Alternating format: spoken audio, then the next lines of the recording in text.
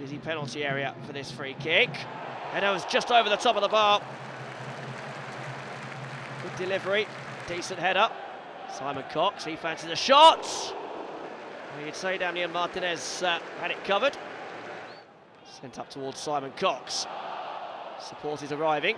Cox won't need it. Martinez is down. Palmer goes on, uh, just drills it across the goal.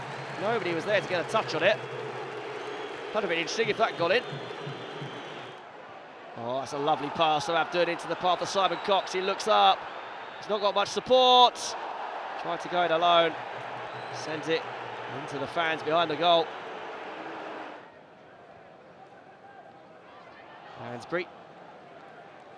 Gonzalo Jara. Clips the ball into the path of Greg Halford.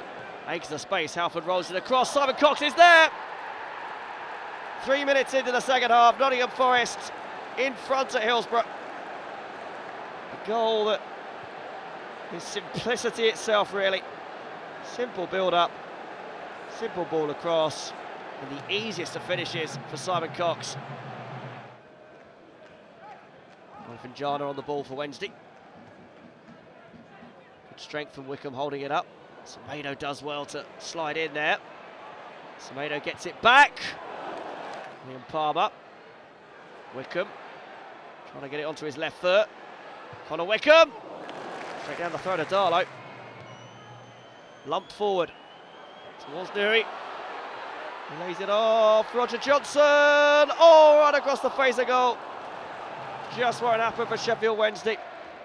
And it turns out that Simon Cox's goal early in the second half was to be the winner for Forest. Sheffield Wednesday nil, Nottingham Forest 1.